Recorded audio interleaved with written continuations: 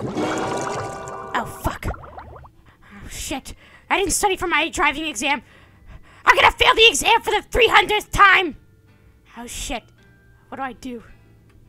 Uh, well, I have an idea. I could use ChatGPT to help me cheat.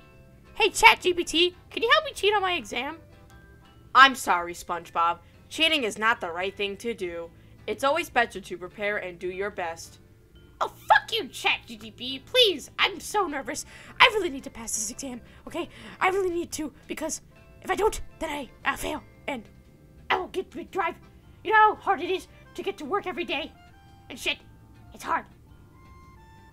Fine, I will help you, SpongeBob. This is amazing, these answers. I'm sure to pass my driving exam. Hi, Mrs. Puff. I'm ready for my exam now.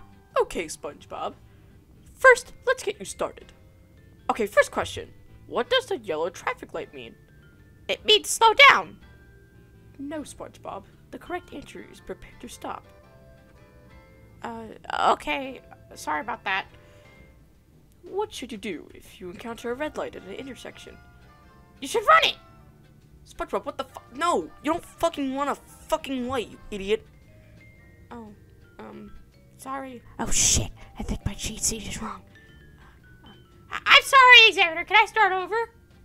I'm sorry, SpongeBob. Cheating is not allowed. You clearly failed your, failed your exam. I understand, Examiner. I shouldn't have cheated. I'll study harder and do better next time. SpongeBob, I hope you learned your lesson. It was wrong for you to cheat on your exam. You shouldn't have done it in the first place. Yes, ChatGPT. You were right. I should have prepared for the exam and done my best without cheating. I promise to never cheat again.